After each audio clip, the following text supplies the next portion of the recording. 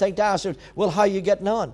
But they're going through some things, and there's some there's some warriors and some brave people in this meeting. And I don't know if you know them. You need to take time to get to know people, but there's people and they're going through it, absolutely going through it. But what do we do? And I'm amazed how they get the strength. I used to say to Lord, how do they keep going? How do they keep? But they do. Look at somebody say, so do I. So do I. But they do. So, how, how, do you face the tragedies of life? You know, you're married. Laura and I's married a long time, but you, you, know it's just life. One of these days, one of these days, that comes to an end. Not marriage, but life. One of the two of us will go home to be with Jesus first, unless I'm driving as well as I usually drive. And once kids will might go home to, together, especially if you're driving. Anyway, so so it's like this. It's it's inevitable. You can't stop it. It's on the books. It's one of these things you never think about unless somebody brings it up in a sermon, but you never think about it. But that person who's with you, and Laura and I is with each other all the time, but one of these days, one of the two of us is going home first. It's just the way it is. It's life. And what do you do when that person has been beside you all their life and suddenly they're, in a moment of time, they've been taken from you? Your world changes in a second of time. We've all got parents. You can't come into this earth without a parent. But it's inevitable that you're younger. So what's going to happen when that one of your or both of your parents slip away, pass away, or a brother or a sister or a relative or a friend when they pass on? One minute they're there as large as life. Even if they're on a sick bed, they're still smiling. They're saying something. But suddenly it's over. Suddenly they're not in your life anymore, and it's gone, and it's gone forever. How do you cope? What do you do? In moments just like this. How do you handle it? How do you handle it? When, when, you, when you find the love of your life, or, or you believe it's the love of your life anyway, and, and you're making all the plans to get married, and suddenly they come and say, I'm having second thoughts now. What do you do when your heart's broken? What do you do when they slip the engagement ring off and send it back on the post? Maybe don't not even man or woman enough to look you in the eye. They just send you a text message, adios, amigo. They called it in the old days a Dear John letter. You've ever heard of a Dear John letter? It's called a Dear John. Ha, I hate to write, but I don't love you anymore. And that, that happens all the time. Laura and I deal with this all the time. But the, the, when the movies make about it, and, and it's called a chick flick, and they all cry and they get together again. Normally, they don't get together again, and there's a lot of tears shed, but it's brokenness. And there's somebody in that party that will never be the same again except the Spirit of the Lord touches them. So what do you do when the engagement's broke off? Or you, you don't get, you get walking down the aisle and suddenly it's disrupted or whatever. What do you do? Because then you've got to go back and tell your family and your friends it's not on. What are you going to do if your spouse, after many years, walks out on you? What are you going to do if there's a betrayal? and suddenly they're not in your life anymore, and you give them everything, you give them all your time, and suddenly they're gone. How do you cope? And let me tell you, say, oh, I, I can hardly wait. No, no, you, you've never seen it in action, or you would never say that. Ah, oh, I'll tell you, I wish mine would leave me. No, you don't. No, you don't. Now, you wish it would be better. And they probably wish you would be better too. Things can, there's ways and means around this. But when it happens, it's not like you think. There's, there's heartache, there's crisis, there's tragedy, there's more than them two people just involved. There's the family connected to them. There's the friends. And it's not an easy deal. What do you do when you go to the doctor with a simple pain in your ribs? What do you do when you go with a simple migraine or a little bit of confusion in your mind? What do you go when the doctor says, Can you sit down a minute, take a deep breath? I'd like to talk to you. But that headache's not a headache, it's a brain tumor. That that pain in your side is not just appendicitis, but we're so sorry to tell you it's colon cancer. What are you going to do? How you face it, the times of crisis, because we deal with people all the time and we see the rough edges of it. We just don't see the phone call where somebody says, My sister has. No, we're, we're right there with the people who's crying, who's wailing, who, who's clutching at straws of life and wondering, How are we going to make it through? And there is a way. This is why I want to preach this. What are you going to do when an accident comes? Because we know people all the time, and met a lot of people both here and in other nations, and they make great plans, and you're supposed to. I hope you made plans for your future, Rabbi. You made great plans, absolutely. You make plans for your future, but let me tell you, life is so uncertain. Life is so uncertain. We'll, we'll build a wee garden, we'll build a lean to in the side, and suddenly somebody falls off a ladder. Suddenly somebody slips on a banana leaf on the floor down, cracks their head, and suddenly they're sitting in a corner not able to move. What are you going to do? When life doesn't turn up the way that is planned? What are you going to do in their moments? How are you going to find strength to go on? Well, this is why the Bible's here. It's here to help. If, if you're in this predicament, then I'm talking directly to you. Just close everybody off. It's like me and you having a one to one here. If it's not, maybe it's somebody listening on YouTube or whatever, but there's somebody going through it and you need to hear. And if you're not here and all these people's going really well, look at somebody say, You're looking good this morning. And you're going through, that's fantastic. Well, then learn these things. There's only seven points, and I'm going to share them with you. I'm going to take them this morning from a little not so well read book of the Bible. But there's a man in the Bible uh, who asked the same question How am I going to get the strength? Where are we going to get the strength to go on? This man asked the same question. It's a man called Jeremiah. And he lived through a, a, time, a period of history, the history of the Jews, the history of the Hebrew people, and one of the most horrendous periods in the history of the, of the nation of Israel. Uh, and it's when the enemy had come in and they ravished the entire nation. They slaughtered, they butchered, they raped, and whoever was left standing, man, woman, boy, girl, child, or donkey, was taken into captivity. The whole nation was taken into captivity and they were removed from their very homeland. They had nothing. Israel, the nation of Israel, was no more. They didn't have it. And, and during the lifetime of this man called Jeremiah, he's one of the major prophets, he also known as the weeping, the weeping prophet. He wept for his nation. I don't think he just woke up one day and said, you know, what, well I think I'm going to pray for my nation. I don't even think he was that way inclined. The Spirit of God came upon him. And I think the Spirit of God was weeping through him for a nation. And he was carrying the burden of a nation. He carried prophecies, he carried warnings. And he was the one that said, Your time, the season of favor is about to come, and told them before it, before it ever had. But he lived through some of the worst atrocities that human beings could ever put up with in that period of time when he's life with. And it wasn't happening to somebody on television. We see atrocities on the television. It doesn't really hit you because they're not your friends. But Jeremiah watched his family. He watched his loved ones. He watched his friends. He watched these atrocities happen right to his own people. How does he cope? What do you do? And he wrote two books. One of them is called the Book of Jeremiah, that most people don't read so often. The best way to read it is in a, a, more modern translation. If you try to read it in the King James, you get so caught up you'll not understand what it means. Best way is to take like the Living Bible or the New Living Translation. That way it reads like a book and you can read it, you'll get a better understand. He also wrote another little book called the Book of Lamentation. Look at somebody say, I didn't know that was in the Bible. I understand. I'm with you this morning. It's okay. But there's another little book in there called the Book of Lamentations. Lamentations, a weeping unto God. And he wrote also wrote the Book of Lamentations. And this teaching, I want to do this this morning out of the Book of Lamentations. I've read it and read it and read it. And, and when it doesn't make a whole lot of sense in King James, you should go for several other translations. But I have the message for you this morning. Lamentation chapter 2. If you don't know where it is, it'll be up on the screen. If he can, if she can find it on the computer, it's in there. Everybody shout, it's in there.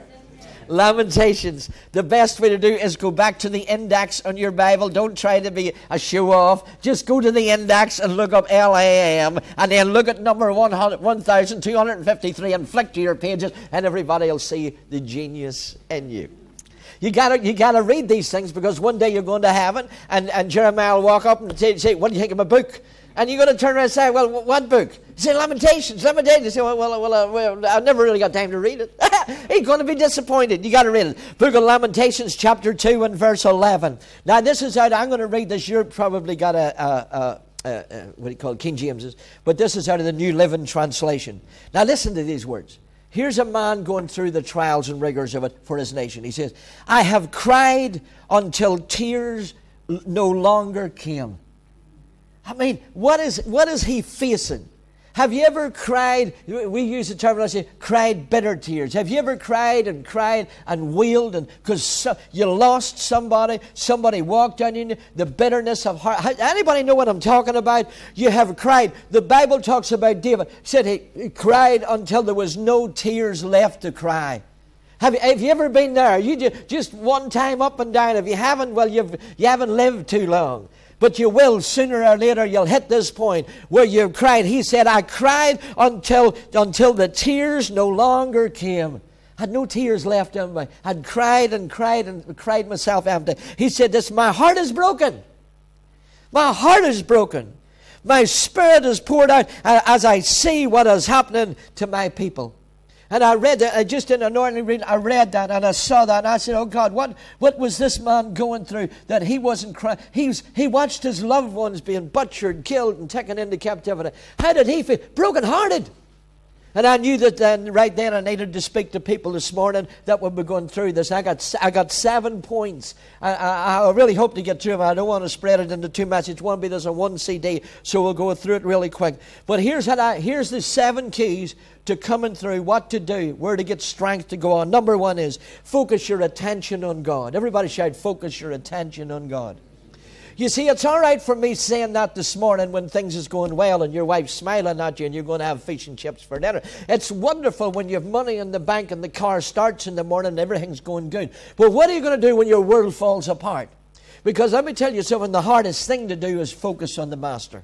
It's the hardest thing to do because your, mind, your mind's in a million directions. You want to phone him, you're going to phone her, you want to talk to him, you want a human voice to talk to, just to pour it out onto you. And those are natural, natural feelings. But let me tell you, one of the most vital and most important things you need to do is immediately focus your attention to God. Get away, get alone, get away from the noise, get away from the hustle of it, and get alone. Make time to be quiet. You've got to do this. Firstly, you've got to do this. You've got to get alone with God and then learn how to listen to Him. Uh, you know, it's easier now to do it whenever we're not up against the problems. Everybody has problems, but I'm not talking about major crisis. It's easier to learn to do this now when you're not up against it than having to learn to do it in the midst of it. But anyway, pick this up. You have to, the person who I'm talking to, you have to learn to get alone with God.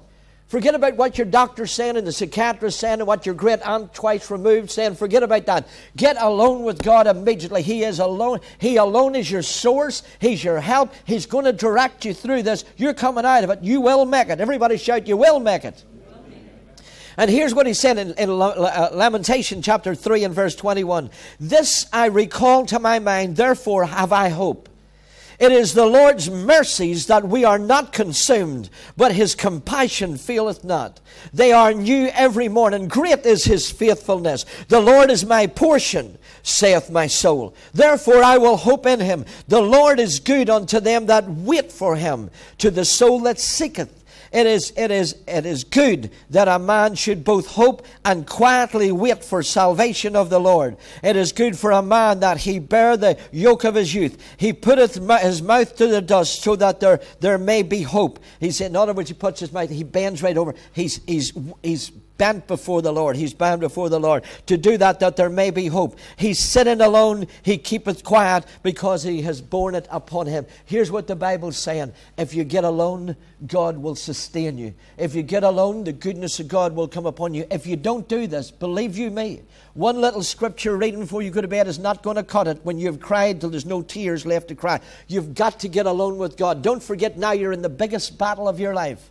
The enemy may have slain him, took them, they might have left you. And immediately there's forces from hell will come and tell you you're a loser, you'll never get any better, you're ugly, nobody likes you, you will never make it through, you're going to be left like an old widow for the rest of your days. The enemy will lie to you. He has you in a vulnerable spot, spot right now. And he'll tell you, you may as well just kill yourself and die. You may as well, you're finished. How are you going to live? Where are you going to get the money? All these floods. You need to get out of that scenario fast and into the presence of God. You need to get alone, lock that door that nobody gets in there, and get before God and say, God, I'm here. You're my help. You're my refuge. You're my strength. I'm going to wait before you. Talk to me. Get all this madness out of my head. You talk to me. And God then, Bible says, He will begin to get hope on the inside of you. It's only when you get alone that you'll really get revelation. You won't get information from your uncle and from your cousin. That doesn't cut it. I know it's nice, but it doesn't work. When you get alone, suddenly you'll have a thought from the Lord. You'll read something, a revelation will come to you. God Himself, the Holy Spirit, will begin to talk to you in a way that you'll know it wasn't him, her, or it. And you'll come out of that room, you'll not be smiling, you're still broken, but you've got answers. And now there's a little glimmer of hope. Maybe it will work. And, and, and everybody around will come by and pat you back and say, Ah, there, there, there. But you won't even listen to that now because you will have hope from the Master. It is in the quiet place, and you don't get it on the first time in. He'll comfort you. But the more you get alone with the Lord, He'll begin to direct your paths. He'll give you direction. He'll bring people into your life. He'll open doors. He'll close doors. He'll bring direction. He will give you revelation about your future. That's called hope. When everybody else will say this is hopeless, and God will tell you, say, eh, no, it's not. I got a brighter future from. If you think you've lost this now, we see what you're going to gain now that you're walking with me. He'll bring revelation about your future. And you know what he does? And this is surprising because I've talked to people who's been through this crisis. You know what they do? Somewhere in the midst of about all their problems and talking and revelation and hope coming back, they start to identify with other people who's going through the same thing. They usually say, Now I know how they felt. I never knew. I used to say it'll be all right, but really, I, I, used to say to them, I know what you feel, but I never know until now. And you see, now that I'm in this, Father, I know what they're feeling. So, oh God, will you touch them too? And you'll find when you're in there, the self begins to die, and you end up starting to pray for other people. God will train you right in the midst of how to help other people out of it, but you've got to focus your shift back onto the Lord. This tragedy, this crisis has come in, is just simply moving you away from the Lord. It's moving you away from the thing. It'll get you to question. Does God really heal? Is God really doing it? Did, did, did I hear? The enemy comes in to try to quest, get you to question God. That's why you've got to get alone, alone, uh, get away from Him. You, when tragedy comes, it shifts your attention from the peace and the subtlety of God. It just moves, moves your whole attention. You have got to regain that fast, and the whole thing to do is get back to that place. Get alone with God. Number two is ask God to remove your fears. Ask God to remove your fears and when the crisis, tragedy, whatever it may be, it hits, let me tell you, you go through a, a, a, a ream of emotions. You cry, you get bitter, you get angry, you get frustrated. Oh, there's a whole bunch of emo- emotions kick in within weeks and days. You go through this whole emotional thing. Some people has it talking about grief. There's some people has this. There's a science and an art behind it, and they have it measured to the five stages of grief. You go through this stage for about six weeks, and then you're over onto this stage. So counselors can recognize what stage you're in right now. They know, hey, if you just hang on, that'll pass to the next. No, I, I know all them things, and that's that you can analyze life. I'm not here to analyze life. I'm here to find the answers how to cope. And I'm going to tell you something. If you will run to God and talk to that person, first of all, tell them it's vitally important that you start to personally get along with God. Even if you're only in there five or ten minutes, the peace of God will come, the revelation, comfort will come, and hope will come back unto you. But tell them this they have got to remove the fear from their life immediately. Fear is the most damaging of all emotions. It, become, it can be driven by a spirit of fear. Lamentations chapter 3, verse 55 says this one. He says, I'll call upon your name. He's in there praying now. He said, I will call upon your name, O Lord, out of my low dungeon. He's in a very low place in his life. And I heard my voice uh, uh, uh, and, and hid not your ear from my breathing and at my cry. So he said, God, you heard me. Some kind of answers came. Here's what he said, verse 30, 57. The next verse says, And you drew near in that day that I called upon you, and you said, so what's God, what's, what is God going to say? What little piece of advice is God going to give you in the midst of your tragedy? And he says, here's what God says. And you said, fear not. Everybody shout, fear not. So one of the first things God said to Jeremiah in his crisis is, here's number one. Get this on your list, son. Number one is stop being afraid. Get the fear out. Well, I don't know how I'm going to cope. Well, God does. God does. Start trusting in the Lord. There's a lady, and she was a, an advice columnist. You know the way we call them the aunties. You know the way they have the columnists, people write in, Dear Auntie, and, and well, there's a famous one, and, uh, and she wrote this. And, and somebody, they said she was receiving 10,000 letters a day asking advice. So she would post them up in, in, the, in, the, in, the, in the Times magazine and she would post them up and that for people to read. And somebody asked her, they said, out of all the things you were asked about, what was the most common problem that people had? And she said, without hesitation, she said, fear. Fear. Fear will attack the minute the crisis hit. Fear will attack. There's three antidotes to fear. There's only three, and it is it's truth. Everybody shout truth. The second one is love. Shout love. And the third one's called faith. There's only three weapons you can use against fear that is truth, love, and faith. And they're all wrapped up in the Bible. They're not wrapped up in medication, they're wrapped up in the scriptures. The Word is truth. Jesus is truth. And, and let me tell you something the love of God, because that, that you'll start to get better, but you, you have to fight that. That's a force that's coming against you. Let me tell you, there's a, and you say, well, how am I going to get a hold then of truth and love and faith? It's real easy. It's called in a relationship with God. You've got to get alone with God. When you get alone with God, you will get that relationship. So the Bible says in Psalm 34, verse 4, it says, I sought the Lord. That means he had an intimate moment. He was spending time with God. I sought the Lord and he heard me and delivered me out of all of my fears. There's your answer. You've got to get alone with God. You've got to get alone with God. Let me tell you, sitting at home is not going to do it. Just talking to everybody is not going to do it. You've got to get alone with God. I noticed when I was reading through the Bible again from the book of Deuteronomy how God brought the children of Israel out.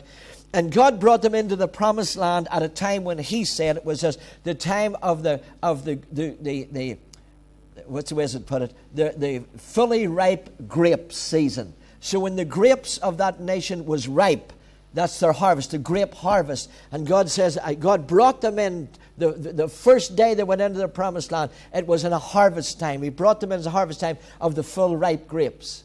Let me tell you something. All they ever wanted was right there. But God didn't take the grape and put it in their mouth. He said, No, I've brought you in now. You've got to learn how to pick it for yourself. This, let me tell you, that that you're going through is not going to go away on its own. It is set up to destroy you and you have to do the things yourself. The blessing is there, relief is there, hope is there, but you must, must, must. You must get alone with God. And secondly, you must cancel your fears. Get, talk them over before the Master. Say, I'm afraid of my future. I don't know what. Talk it over with Him. He will bring hope back into you. Number three, you got to believe that God will restore you. You have to believe that God, expect Him really expect God to do something to bring you through this. He may not be able to fix this up. A person's dead, they're dead. He may not be able to get them back again. And even the, the, the who knows what goes on. But I mean, expect God to do something on your behalf to bring you through this crisis. Do you, do you think He could do that? Well, you have to do it. Expect and trust God that will and believe that He will help. Let me give you this. In Psalm 27 and verse 13, it says, I would have despaired unless I believed to see the goodness of God in the land of the living. I would, the King James has said, I would have fainted except I believed to see the goodness of God in the land of the living. He said, I'd have given up if, if I didn't think that I was going to see an end to this. So you've got to believe that there is an end to this and God will restore it. I need to tell you this God specializes in new beginnings. And if you're at a crisis, and the reason you're in a crisis, you had a dead end, the end of the road. You, that person's not there, you're not there, whatever way, the job is finished or whatever it is, and you're at a crisis. Let me tell you something God specializes in new beginnings. Look at somebody say, I'm in for a new beginning. There's three things you don't need to do, and there's two things you do need to do. So write these down. The first one is you don't need to, re, to repress your grief. You don't need to stop and, and say, "Well, I, I'm not, I'm not, I'm not hurting. I'm not hurting." No, stop that immediately. That builds up on the inside, it'll do you more damage. You need to cry. Look at somebody say it's okay to cry. You're, eh, eh, listen, fellas, you're not a big baby because you burst into tears. Cry if you must. It's a release. It gets it out of you. Sometimes, sometimes people, the best, I tell them, is, say, away up the Mourne Mountains and scream at the moon. Sometimes you just got to scream at a tree. Sometimes you just got to get it out of you. Don't, don't repress it. Don't hold it. Let them cry. Turn them to say, I'm sorry I'm crying. No, you say, just go ahead. Here, use my hanky too. Hold on, I'll cry with you. Help them. Don't, rep- don't keep it in. Let it loose. And don't resign from life. Don't withdraw. Don't lock yourself. Pull the curtains and say, that's me. I'm not talking to anybody. Stop that. Stop that. They're the, they're the work of the enemy. No, don't repress it anymore. Cry if you must laugh. And people say, well, how can I? People think I'm nuts if I laugh. Laugh anyway. They're not going through what you're going through. Don't keep it in. And don't withdraw from life. Don't pull the curtains. Open the curtains. Get out there and dust. Get up there, put a bit of makeup on, fellas, and get out there and, and, and, and get out and, and, take the dog for a walk. Don't, don't hide in a cupboard. And don't, re, don't, don't listen and don't retreat into resentment. Don't let bitterness in. It's your choice. If you got all them thoughts, I hate them, I hate them. I, I, well, if you got them choices, let me get back into the prayer room and say, God, I got this better. I need rid of it, and get it. Stay in there until you get it out. Don't let them things to destroy you. Here's what you need really to do: is accept some changes in life. There is a, something's happening. You can't fix it. It's outside of your control, and you've got to accept some things. This is the way it is. Look at somebody say, "It's the way it is." It's the way it is. And don't, here's important number two is don't focus on what's left because that's where the enemy gets you. He was the breadwinner, she was the breader, now they're gone and I'm left. I'm left. Don't focus on what is, don't focus on what's left. Focus on where you're going and what God can get, to, get through to you with. Number four is remember, some things never change, and the Lord never changes. There's things that you see in life, we build up patterns in life, and they're the constants. It's always there. When you come home, your tea's always ready, or not. you know, it's just the way of life. You, know where the switch is on the wall. You know the car. You know, yes, there's some constants in life. And we build our life on the constants, the things we know is there. Now, when, when tragedy comes, those pattern of life is gone. It's gone. And you have got to start and rebuild your life and put patterns back in there as fast as you possibly can. But you got to understand there's some things that becomes anchors. There's some things will never change and they're there forever. And that's what you hold on to. Look for the things that never changes. Get a hold of them and they become an anchor in your life. You got to remember God never changes his mind. He never changes his purpose and he never changes his, na- his nature. If he said it, he'll always be. He can't help but love you. And you got to look for them, them anchors in life and hold on to them no matter what comes. Number five is remember that God is, in still, is, is still in control. He is still on the throne. He is still in control. He's still calling the shots, even though it looks like he's not. He is. Look at so we say he's still in control. He has the whole world in his hands including your world. He has your world in His hands. He was probably trying to warn you three months ago that this was coming, so when it hits, it wouldn't devastate you. But for whatever reason, you couldn't hear it, so you're right in there. It doesn't mean God said, Huff, look at that. I, I'm out of here. No, He's with you. He's still reaching to you. He's still helping you. He's got your world in His hands. Let me tell you, things happen. And the Paul said, I, Paul said in the Bible, he says, I'd like to tell you the things that happened unto me. God turned them all around for the blessing and for the blessing of the gospel. The story of Joseph was written in there that you could read. Even if you find yourself in a pit, there's still a palace that God can get you to. And it's a miracle how he got him out of the pit and over to the palace. But it's simply telling you the pit is not the end. Look at somebody say, the pit is not the end. The pit is not the end. God is still in control. All things work together for the good of them that love God and serve His purpose. The Bible says He always He makes a way in the wilderness and He makes rivers in the desert, including this that you're going through. Now, everybody has a free will. God does not impose His will on anybody. So those people that's come against you or whatever, why doesn't God stop? Because they have a free will. And right now they have given themselves over, and made some real bad choices, and given themselves over to things. But let me tell you, the end result still lies with God. He is still on control. You cannot help what's coming right now, but God can. And He has the final say, and He always works things out in your favor. Look at somebody say, in my favor. It looks like it's a million miles away, and you think, well, why hasn't it done? Stop complaining. Look at somebody say, quit your whinging. I know you wanted to say that from early this morning, so I just give you liberty to do that. But it's still, God has it in control. Well, I can't see it, but you're not God. He's just saying, hold on, keep moving, keep smiling, keep loving, keep giving, keep doing. I, am there. I, I've not lost control. I've not turned a blind eye. I haven't got double vision, uh, dark glasses on, can't see what you're doing. He knows exactly where you are. Everything is in control concerning Him. He has it. The reason we fear, we fear, if it's in our control, we don't fear it. We fear it when it gets outside of control. And we don't have control. We don't, we don't, we don't uh, uh, uh have control over what family we were born into. We didn't have a say so and control over where we were born. We, we didn't even have a control over the natural gifts and talents that we have. We don't have control over the economy. There's, there's higher powers that work it all out. We learn how to work in it, but, but there's higher powers that operate. We can't control the weather. They say the governments can. They're not telling you, but they can shift things, and that's why they messed it up at the minute. But you can't control your past. And you can't even control your future. You can't control. You can't even control what's going to happen to you today. You don't know what's going to happen to you today, but God can, and God's right in there. And He's in our past. He's in our present. He's in our future. He's working things out for us. He has not lost control, not for one minute. Now, it's the areas that we can't control, that's where we get afraid.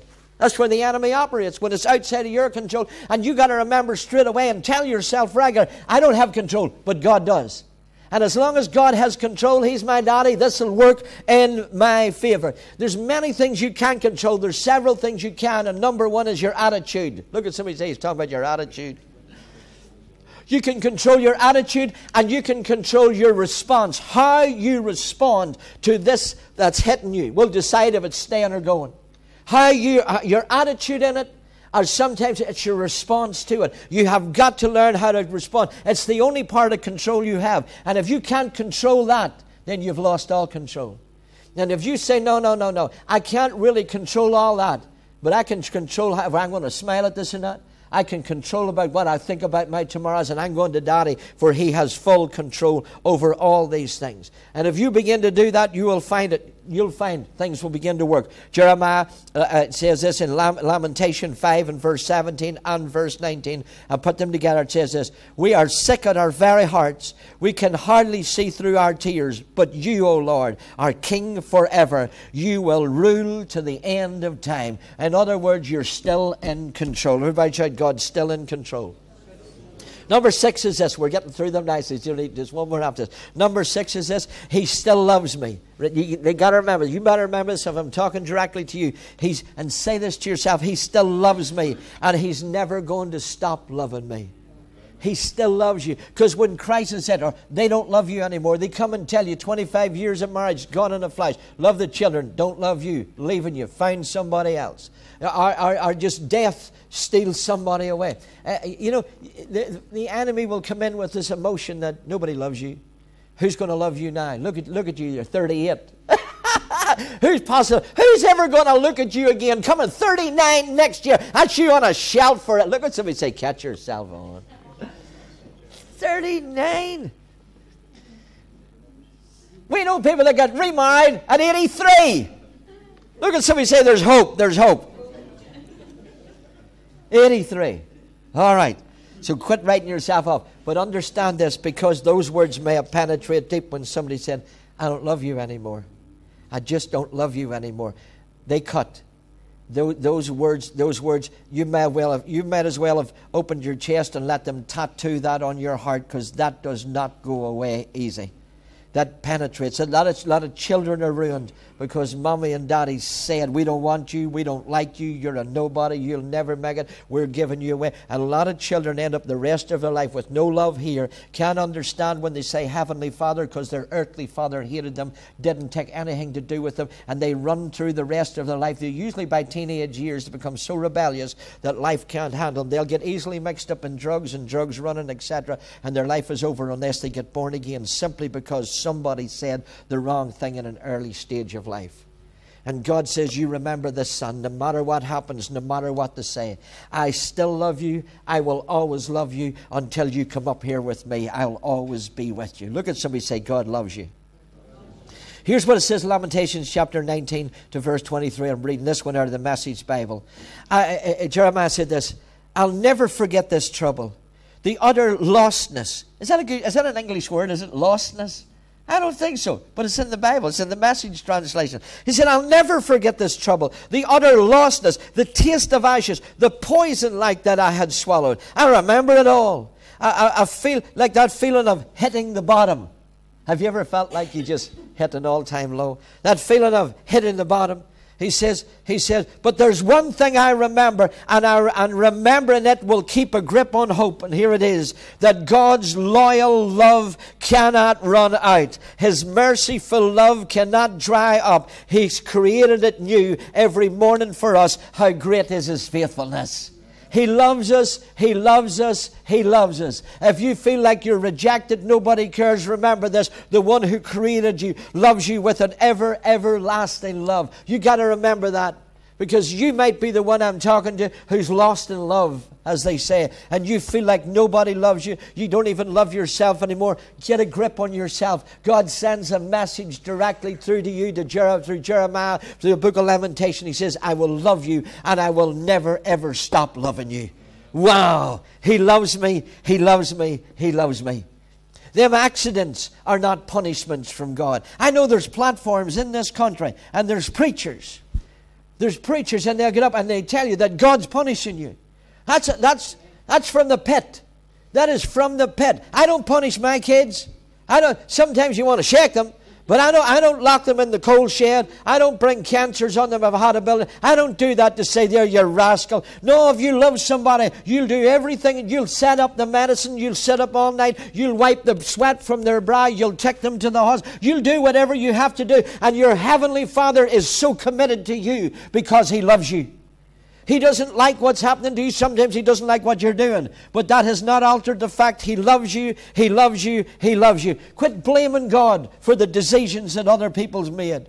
Some people's demon inspired words, and they leave you and they hurt you and they say things and, and they steal from you. Let me tell you, that wasn't God. God never instigated that. He's there now to help you. He's there to talk to you and to help you through the crisis of life. And here's number seven. The last one is this, and remember this that God is really all you need. And usually you'll find that it's when you got nothing left and everything's gone and all hope's gone and you're sitting in a heap in the, in the floor. You got to remember this that really at the end of the day, God is all you need. There's good people out there and they'll try to help, but they can't be there all times. But you need to remember that God is your source. And really, at the end of the day, he's all, this is why he said at the very number one was this come on into my presence. Come on and sit on my knee. Come on in for a wee cup of tea. Come on and sit here with me a while. Shut off from all that. Come on. You want to cry a while? Come on sit and cry in my presence. You, you, you, want to give off? Come on, give off in my presence. You want to come in and scream a bit? Come on, scream. I've heard you before. I give you the voice box anyway. Come on, come on, come on in here. You want to whinge and moan? Come on in my, come on in here. Sit here for a minute and whinge and moan. Get it out of your system, Joe. I've, I, I went in there at times when, when going through things, and you know how it is, you're going through emotions. I went in there, and, and the first thing I said was, Devil, you have nothing to do with this conversation. I shut you out right now. That, that what I'm about to say to my Heavenly Father is between my Heavenly Father and you, and you have no, get out of my life. Get out of, the, get out of this room. And I'll sit there and say, I'm a mess. I'll sit down and just open. Have you ever just, just opened to God? And said, there's not going to be much faith talk for the next five minutes, but let me tell you, says, I'm hurting. And I, am hurting that much now, I, I, I, don't even know where I'm hurting from. I'm, I'm, I'm tired of this, and I, am I'm fed up with this, and where's this, and I, I can't have this. You, you can't talk like that with a devil listening. So I take authority and put him out first. And then I get in there and I have an old complaint right to just me and Daddy. what do you think of that? And God never turns around and says, You hit it on, son. No, He usually turns around and says things like, Great is my faithfulness. I'll anoint you. Well, success is coming. So I don't need to hear that right now. I want to hear you're going to kill him. I want to hear you're going to set his bootlaces on fire. I, I, want the dog to bark for the last time. But he never says it. I think he just smiles the, on the throne and says, Have you finished? Have you finished? he just said, You have to get it out. But why go and talk to some sinner? Why go? Why you're a believer? Why sit and talk to some psychologist, some Catholic guy who's taking notes in a computer? It never goes away. That you're ranted and raved for 20 minutes, and in 14,000 years, and they pull out your file and say, "Here was a crazy one over here." You're not crazy, not crazy. You were just having a heated moment. You were having a bad day. No, God knows you have a bad day, but knows you got frustrated. I would rather take my frustrations out in the privacy, in the private place with my Heavenly Father who knows me, and sit and cry and whinge in His presence, and then wipe my tears and say, I'm glad I got that off my chest. Now, thank you, Jesus. The answer is on its way. If you go in and whinge and moan, and then get it over with real quick, and then get the good stuff going, you can walk out of there unloaded and downloaded for heaven, and life will work for you. There's nobody perfect. You've got to have a whinge. Look at somebody say, I know, I know, I know. There should be a national whinge day. When, when everybody was, but you cannot do that openly. You can't go and do this to people. You can't just unload to people like God. They'll, they'll never forget that one moment of crisis in your life. They'll, they'll forget about the thousand years of wonderfulness that you've always spoke, and they'll only remember the one-off moment you have. So you can't afford to have that in front of people. That's why God says, "Come on in with me, son. You can just be yourself." You can take your shoes off. You can even take your socks off. You can sit there, put your feet up and talk to me. You want to lie on the floor, Joe? Whatever way you just lie down, Joe, but talk to me. And get it out of you. Get it out of you. And then have that response, the faith response come. You'll never carry the two. You can't carry fears and faith at the same time. So talk it over. Say, full of fear. I don't know what. I don't know where the money's going to come from. I, I, am. I, am a widow now. Where am I going to get the money? I, I, I, never filled a form, and I don't know how to. Find Oh God, help me. Listen, if you just go and tell him all your fears, and then say, Father, but I come to you for help. So I'm believing you're on my side. I'm really expecting you to do something. You would be surprised who'll call at your door, who'll do what, and, and, and things will happen. You know, I was talking to a man just last night. His wife has she has battled cancer for 14 years. It's come and went and come and went, and she's beat it and defeated it until the last time it hit was 14 months ago, and it came with such a devastation that, that she's, she's alive, but she doesn't have quality of life that you would really hope for. And uh, uh, uh at the end of it, he, he, he, said to me, he said, Joe, he said the other day, I said, well, how's she doing now? He said, it got scary. He said, I was sitting there talking to her, and he said she just was like a zombie. He said, I, would ask her a question, she'd just stare straight past me. And, and, I called her by name and I said, I said, Are you all right? She never answered. She just stared straight past me. She said, She's never done that in her life before. He said, he said I tell you the truth, a fear rose up inside me. I said, What's this? Has something, has she taken another level? What is going on in here? He said, It scared me. And I said, What did you do? He said, I, I, well, I went to the phone. I phoned the doctor. Said, Could somebody come down and look at my wife? Well, they know her in the area. They came down. The doctor looked. I said, I, I don't know what's going on. Uh, he says, but he says, I saw somebody phone this morning. There's there's a, a, a, nurse, a specialist nurse, a male nurse, who's who's just come into the area, and he comes around and he checks people's medications. He said, I see see you're on the list for it. He said, I'll just phone him and tell him to hurry up. And so this male nurse came in. He said, never met him before. He says, says he never even explained. He just came in and he, he looked at my wife. He said, he says, hello, called her by name, and he said she never responded. He just turned to me and he says, let me see your medicine. He says, I brought down the medicine. I brought down this one. And he looked at it. He says, How long has she been on this? He says, Oh, several weeks now. He says, This one and this one together are lethal. He said she should not even be on that medication. Said this one mixed with this one gives you the exact same symptoms as Parkinson's disease in the final stages. In Parkinson's disease in the final stages, you stir like a zombie. He said that's what's wrong with her he says, Let me just remove these two medications. I give you this one instead. He says, These two together are lethal. He said, Who prescribes it? Well, we'll not go into all that detail. He removed it. I said, Joe, I said, How's, how's it going now? He says, She's coming back now, little bit at a time. He said, I don't even know who he was. Never left his call card, never left his name. He said, We've been dealing with this for years. Nobody ever came to check the medicine. Wasn't it something else? That just the right person turned up at the right time. I expect God to turn up at the right time with the right person. Now, I don't understand the timings altogether, why He doesn't do it three years ago, but all I know is this I'm not giving up. Are you going to give up? No, we could be that close. It's the right person coming into your life and saying, ha ha, you're wonderful. You could have somebody who'll just walk in and think you're the bee's knees. You, you could, somebody could just be round the corner now who's just about to make everything happen for you. You could be one ladder away. You could be you could have been failed the mortgage in three three different banks and go to this one and suddenly somebody turns around and said, Well, I don't even know why we're giving this to you, but there you go. You could be you could be one sentence, one phone call, one email, one text. God God God God doesn't uh, doesn't uh, interfere with the wills and the minds of men, but He can shift things around. And that person, just on the day you go in, and that nasty man from table number six is meant to be dealing with you, and suddenly he takes the runs. I like it when they take the runs. It's, in other words, he's in a hurry. He got a phone call. He's got to go somewhere. Did I talk my way out of that one well? He got the runs. He has to go, and somebody else takes his position. And when somebody else takes his position, you're in. God can do it. Everybody shout, God can do it. How would ever I'm closing now. My brother in law, one time when he was in Africa, he was going into a nation that was really closing the doors to Christians. And uh, he was going in there to do, to do some uh, evangelistic work. And they told him, going to people who was organized, told him the words, said, be careful at the customs because if they, if they know what you're in to do, they'll stop you or they will imprison you. They'll just get you round the back and you'll be imprisoned, you'll disappear. And uh, uh he said, he said, I was going in, I was fearful because he said they took my photograph and had posters all over, the, the posters of his face was all over the place for doing the crusades.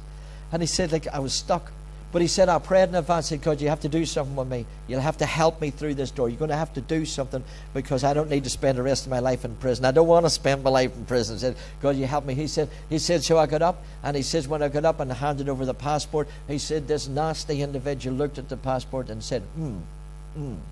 And he says, and he said, you can see the, you could see the, the, the wheels working on the inside. He said, come with me. And he said they opened the door and they said they escorted me into a room and they set me down. He said I was in there for three hours. Three hours. And they interrogated me. What are you doing in this country? You're smuggling drugs, you're stealing babies. What are you doing? And said they're interrogating. They're interrogating, wanting to know. And he said, I just kept saying, I'm, I'm just here on just here on business, just here on my daddy's business. My daddy sent me, here on my daddy's business. We just wouldn't change it right, but they were getting aggressive now. They were getting really nasty. And this guy, was, the was coming up, and he, he came to us. He says, he said, I am exasperated with this. He says, I know when you're in what you're in here to do, and you're not in here to bring any blessing to this nation. He said, so we're going to stop you. He says, I'm going out to my tea break, and he says, I'm going to, when I come back, he said, we're going to find things out, and then we're shutting you down, we're locking you up. And he said, whenever, whenever that man went in, he said, I just put my hand, I said, God, you heard his threats. And he said, as I guess he said, I can't lie anymore. I'm not lying, but I can't hold the truth back anymore. He said, I tell you, when they the next time they ask me, why are you here? He says, whatever way it goes, but I'm just going to turn around and tell them I'm here to preach the gospel of Jesus Christ. And said, I'll just put it in your hands. And he said, instead of that interrogator come in, there's a younger man come in, sat down, pulled up the chair, looking as ugly as the other one, just sitting down, not smiling, and said, Okay, here's your file. Now tell us right now what are you doing in this nation? And he said, I took a deep breath and said, Here we go. I pushed back my chair and I stood up and he said, I am a minister of the gospel and I've come into your nation to preach the gospel of Jesus Christ to get multitudes saved. And he said, at that point, the young fellow stood to his, pushed his chair back and stood and leaned over the desk and he says, I also am a believer. Now get your bag quick and come with me before this other guy gets back and opened the door and called two guards who has carried his luggage full of Bibles too, carried his luggage outside the airport and set them down and called the cab to come over so that they could get a taxi to where he was going into his hotel. Look at somebody say that was close. I know. I know, but I'm here to tell you something. We're not smuggling Bibles. We're not, but we're in we're in life's crisis. And if God can send a man to there, if God can send, He may send an angel. Oh, look at somebody say that would be better. That would be better. He may send an angel. He may he may send somebody. He may he may send somebody to tell me don't do that. He, he may get in front and say, Don't marry them. He, did I look at you when I said that? I didn't. I didn't. Don't, don't, don't go there. Don't, do, don't go there for your holidays. Don't, don't buy into this. Oh, or he might send somebody else and say, This is your chance. You are the 1,000th person to walk over this depth this morning. We're giving away free mortgages. I know a person who preached in Donaghadee for years. And they had no chance of getting a mortgage. But because I was preaching stuff and our faith rose up, she said, We're going to do it. And her and her boy walked down into a downtown Belfast place, and a state agent, and she walked through the door, and they said, Congratulations. Do, do, do, do, do, do, do. Congratulations. You are a cat, was like a 1,000th person. Just sit down here. Says, We are about to make this so easy for you. You can have the mortgage and sign them off on a mortgage that they were, would not, under normal circumstance, have went. Unbelievable. Well, a same lady, her, her, uh, her son opened a business, and the business took off within days. The same woman then, her daughter uh, was, a, was a nurse and applied for a job that was posts ahead of her. She wasn't qualified for it, and they gave it to her. See, let me tell you something. God has ways of shutting things down and opening things up. This crisis of life will not kill you. It's an opportunity now for you to get closer to the Master than ever before. We have all the sympathy for you. We're not, we're not laughing at you. We're not, I'm not saying this is easy. But I'm telling you, there is a system. There's, according to the Bible, there's a way out. Number one is your daddy is your only source through this. And if you start and have intimate moments with him, he will hold your hand. People will not believe it. They'll still direct you, but you'll be directed by the Father. He will bring you through this and bring you out of this without bitterness or shame. The Bible says that the Lord, the prosperity of God, it makes rich and adds no sorrow unto. Are you with me? God's not trying to hurt you, He's trying to bless you. So this morning, my Father, as we close this, And who knows who listened to this on YouTube or who knows who listened to this in foreign shores or through CDs or whatever. Somebody that's at, the, at a point of suicide. Somebody that's going to throw in the towel. Somebody that's at their, at their bitter end. Don't know what else is happening. God, I will believe you'll take this message and so impale it on their heart that they'll say, This is the way. And great hope will come back to them. That the Spirit of God, the benefits of heaven will be set in around them. That they'll realize God is on their side. I pray also for the people who's listening and taking notes will become counselors and will be able to help people going through the dilemmas and crises of life. That they'll learn the simple, the simple things to say, the wisdom of God, and they'll be able to say to a person, try this, this, and this, and help them on their way. We're going to believe right now if there's any persons in this building that is facing the same situation, God, then I believe this morning for a swift and a, an immediate turnaround in their situations. I believe it this day in Jesus' name. Do we have anybody that that fits? Does this fit anybody's criteria this morning? And you want to stand to your feet, perhaps if you come up the front. And, and uh, there may not be anybody. This could be one of those information tapes that goes out to help people. Who knows? And, and maybe, maybe you're in a situation you don't even want to say. I, I'm with you. I'm with you. I'm, I'm not, we're not trying to offend people. Never did. Just trying to help folks.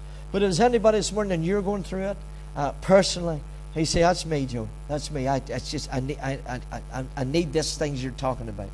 Then, then there is an anointing, and I keep telling when people phone us, people text us, and they live in this nation, and they've got cancers, etc. We always say the same thing. We'll talk to them, pray with them. We usually say the same thing. Can you make it into one of the services? Because I really believe there's an anointing in church that's not on a tape and it's not on a phone call. I believe in the house of God, and I believe that the Spirit of God moves in the house of God. So if you're here this morning and and and uh, uh, and it's you, stand to your feet wherever you are. There's nobody. Everybody's for you in this house, by the way. And I won't even ask you what it is. Okay, so you might not have told anybody, but right now you're just going through the pits. Okay, does that apply to anybody? Now you don't have to stand. You don't have to. That's okay. Don't worry about it. Okay. Is there anybody else? We're for you. We want to know it. It could be any one of us going through this. Life's good, but who knows before next weekend what happens? You go through crisis, calamities. Your world turns upside down. All it takes is one letter of refusal. All it takes is some nasty person on Facebook to put something. You don't even know. They don't even know who you are, but they can write something up there. Before you know it, you're in the pits. Is anybody else? We're going to pray. We're really going to pray. Absolutely. All right, we've got two wonderful people standing here. Maybe some of you believers, believers, and the row behind. That is Norman, Dorothy, and the rest. Jeffrey, come on, gather around this young lady. It's good to see you back home again, all in one piece. This young lady was in Denmark. Denmark, wasn't she? She was in Denmark, fighting the lions in Denmark over there. It's good to see you home. So, you just would you would you put your hands?